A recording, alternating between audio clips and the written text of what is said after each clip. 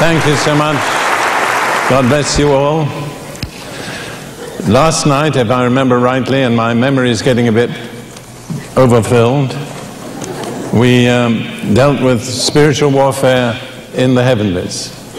I can't go back over that, but tonight we're going to go further and we're going to deal with spiritual warfare on earth.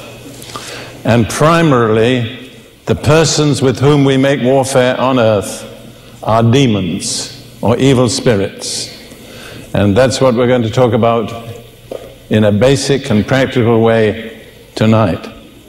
But I think it would be appropriate for me to begin with a brief, up to date personal testimony. In September of last year, I was living with one of my married daughters, my only Arab daughter, in the UK.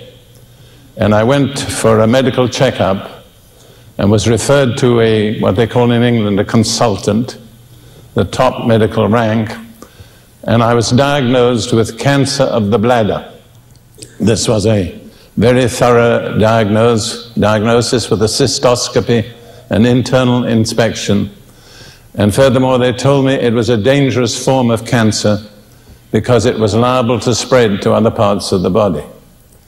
Well, I was not afraid. I felt somehow that God was in control.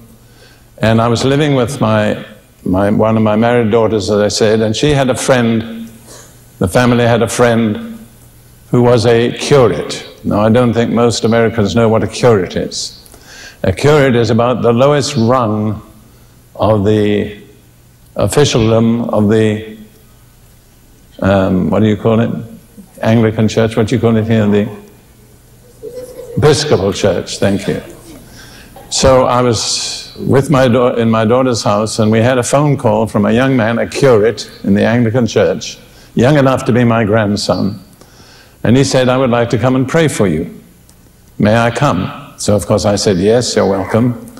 He was a little timid. He sat at the opposite end of the living room. And after a while, I said to him, Now, I want you to understand I'm not necessarily expecting that if you pray for me, I'll instantly be totally healed of cancer. But come and pray anyhow.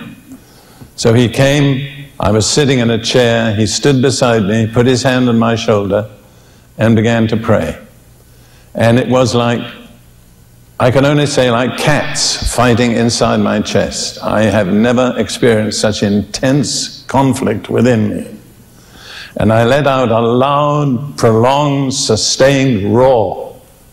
Not just a shout, it was a roar. And at that moment, I knew that I had been delivered from a demon of cancer.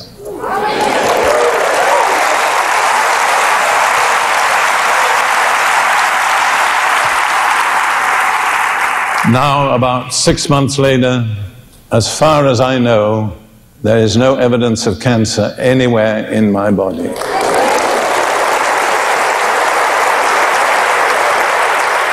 So I want to encourage you it pays to get delivered from demons. Don't be embarrassed. Don't be fearful. Just accept what God has for you.